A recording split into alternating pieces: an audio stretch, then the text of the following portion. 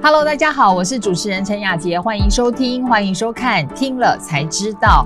今天我们要来跟大家聊聊拜登祭出高关税，引爆电池新赛局这件事情。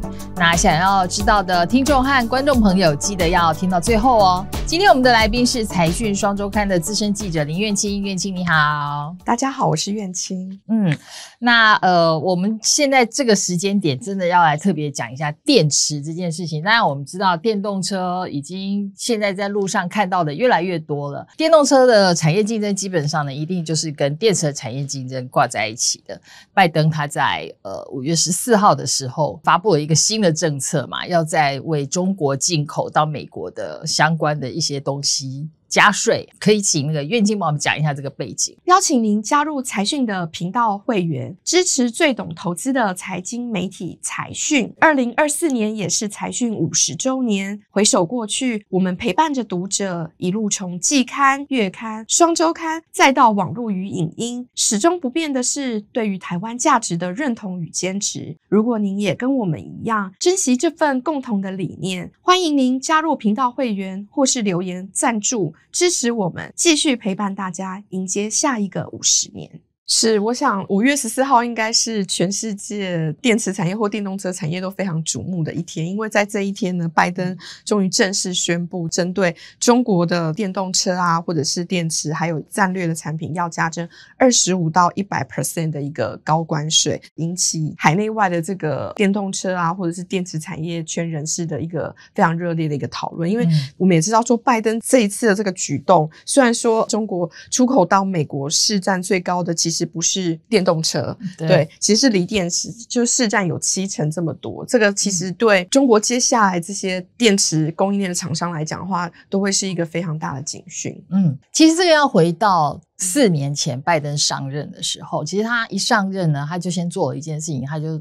就是基于国家安全，他盘点了有四大对于美国国安呢会造成疑虑的产品，包括半导体啊、电池，然后制药，还有稀土关键原料这个部分。其实大家都注意到，就是说，因为中国在锂电池市场垄断的市场地位，呃，长期下来的话，一定会对现在不管是大家要减碳啊，或者是说能源转型啊这样子的趋势造成影响。那是美国贸易部他们就提出了一个四年的检讨报告。然后这当中就是发现中国的市占只有越来越高，对，所以一定要再多做一点什么事情了。拜登他们做这件事情还有一个很重要的，就是他们也是要维护本土的产业，包括他们本土的汽车产业，未来也是要往电动车的方向发展嘛。所以那电池这样的一个关键的零组件，一定是要掌握在手上。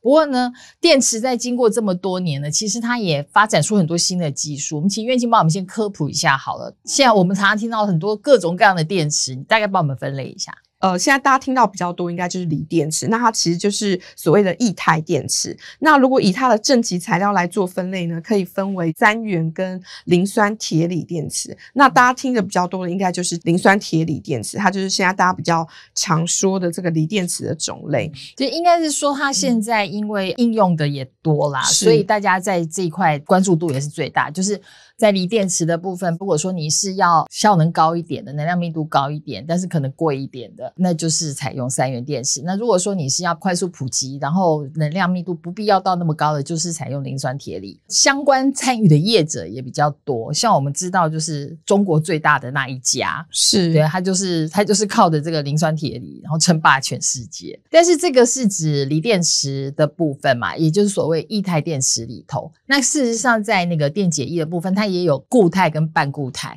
大家追求最极致是固态电池，对不对？我记得我们那时候在讨论。都说固态电池可能就应该要说是电池的圣杯了，是没错。到底为什么大家更要去朝向固态的这个方向去推进？它到底有什么优点？固态呢，它有能量密度高跟安全性高的优点，那比较没有容易爆炸的疑虑。嗯，对，嗯，没有像现在的那种液态电池，因为又可能高温在马路上跑，会比较令人担心。是，但是它的问题是在于很难生产。对，就是它技术门槛相当的高。我们这次也爬梳了一下，就是说现在目前固态跟半固态电池的一些动态。其实我们发现说，一直到现在，全球第一家可以量产只有加拿大的一家公司，叫做 Blue Solutions。嗯嗯，这家公司它可以做到这件事情，所以它其实量在全球还非常非常非常的小。对，反而现在呢，因为还还做不到固态嘛，那我们就先来做半固态这样的状况。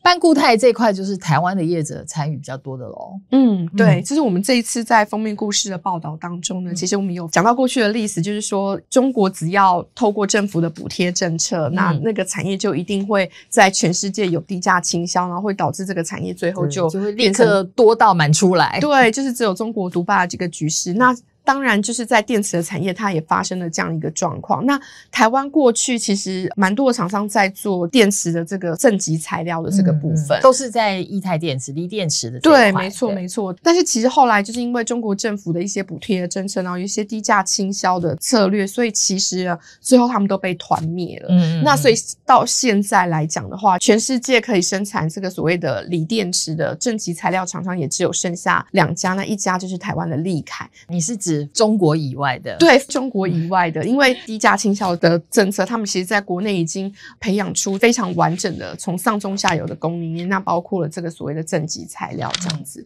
那另外一家呢，其实就是日本的住友。那所以现在就是，假如说我们现在要做的电池呢，是要朝向固态电池的方向推进的，然后呢又要不是中国的厂商的话，其实那就是台湾的业者的机会了。对，没错，嗯，就是一个翻转的机会。好，那所以这就要讲到我们这一次特别去看了一家公司，原先很辛苦了，为了这个电池这件事情，他在三天之内吗？先飞了日本，对，然后再飞了美国，对，就是要搞清楚到底这个神秘的美日台同盟是怎么一回事。大概可以告诉我们一下，就是因为现在是日本的京瓷株式会社这家公司，它现在是全世界唯一能够量产半固态电池。的公司嘛，对对对，而且已经实际在商品化了。对对，然后他是怎么做到的？大家也知道，说金瓷它最著名的就是制陶的这个生意嘛。他们他最早起家是制陶，对他有几段时间大名大放。一个是办公室事务机器，办公室里面的影印机，然后另外他他还在一个阶段也曾经大红大紫过，就是很久以前有所谓的 PHS 的这个手机。对，没错没错，当时金瓷也是很红的呢。是是是，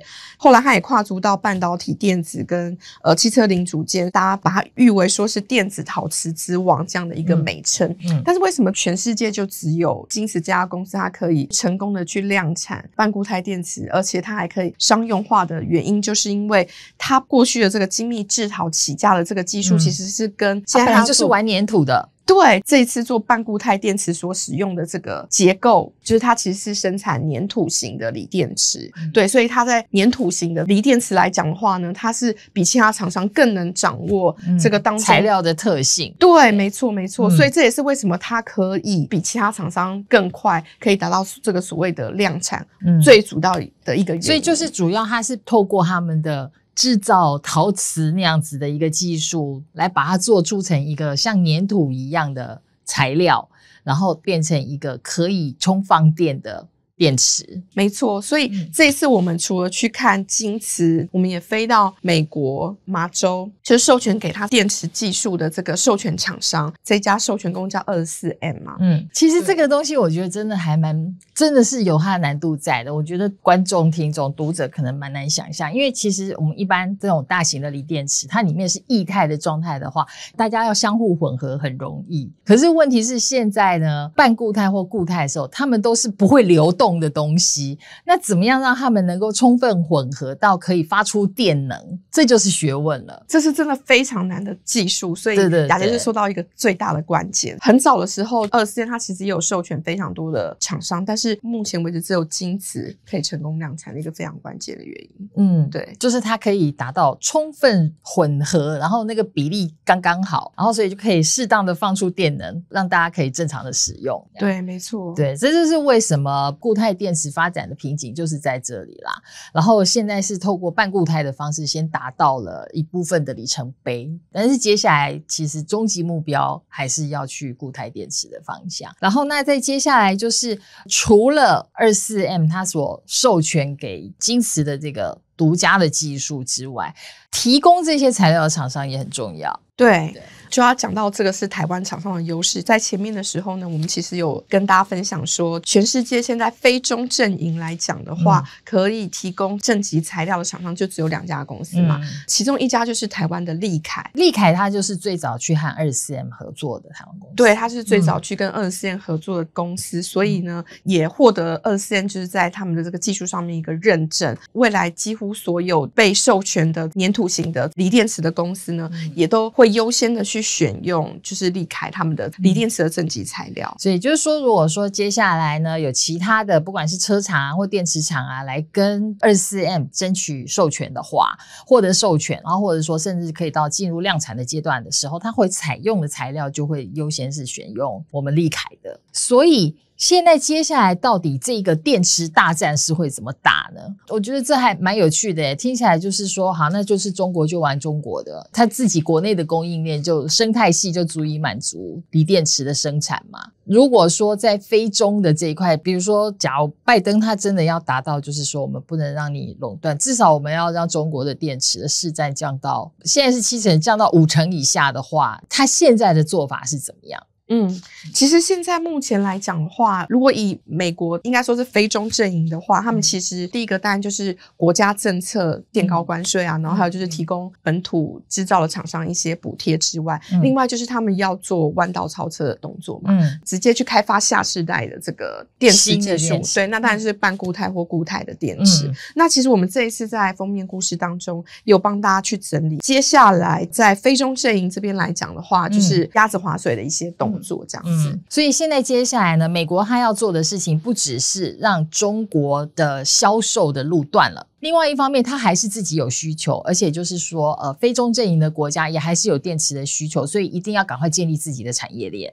那所以在透过这件事情上面，美国它是开了，等于是开了第一枪，然后同时呢，它接下来还要再扮演一个，就是说，哦，那我的市场就开放让你们进来，可能提供很多的补贴，所以去那边设电池厂都可以获得补贴，这样子的角色。那其他的呢，我们看到也有很多其他国家加入了他的阵营。对，那除了美国之外，像日本跟韩国，他们就是扮演就是在三元锂电池供应链的一个支持嘛。那澳洲的话，他们可能就是有一些锂矿啊，跟稀土。来当做他们的天然资源是很丰富的，很丰富的。欧洲啊，跟印度，他们是除了美国之外，就是去支撑市场需求的这个预备部队。那当然，台湾在当中有一些角色，比如说，如果以利凯来说的话，他们现在可能就是直接从制造商的角色转型成为 IP 的授权公司，就不是只是提供材料卖给你而已。对，没错，没错。另外呢，就是凸显台湾厂商的优势，就是我们比较有弹性，我们可以帮客户来做一些刻字。化的产品，第三个就是说，也可以透过这样的一个模式去改良目前锂电池的一些效能，这样子。嗯嗯，好，总之这真的就是现在就是要想办法，我先让你死，然后我自己要赶快强大起来，这样才能够战胜这一场电池大战，就对了。好，接下来我们要回复财团，在听了才知道。第一百八十八集，台积电唯一看好的产业 AI PC 迎来热潮，台场的黄金时刻这一集里的留言。那前面两位，请袁青帮我们念一下。好，呃，这是财讯频道的会员，叫做余博游。对，他说感谢两位的分享，谢谢你的这个支持，谢谢。对，还有一个财团好朋友呢，给了我们鼓励，说这集好精彩，谢谢。不过其实我们每一集都很精彩哦，欢迎大家每一集都要好好看一下，学到一些。东西好，那第三位这位是这位财团海星，看起来很专业呢。他说，其实辉达的 GPU 比 NPU 耗电，是因为 GPU 的 AI 生产效能是 NPU 的五十到一百倍，所以目前的 NPU 呢都在笔电上。适合轻度使用者。看起来这是一位相当有研究的财讯好朋友。我们也非常欢迎，就是说对于我们的这些题目，或者是说对于相关的产业有了解的朋友，也可以来跟我们分享，提供您的看法，让我们整个节目呢能够增加更多精彩的内容。那今天的节目就到这边告一段落，谢谢苑庆的分享，谢谢。如果你还想要了解更多的内容，欢迎订阅我们的频道。同时，现在也是财讯周年庆的活动期间，欢迎大家踊跃订购。听了才知道，我们下周见，拜拜。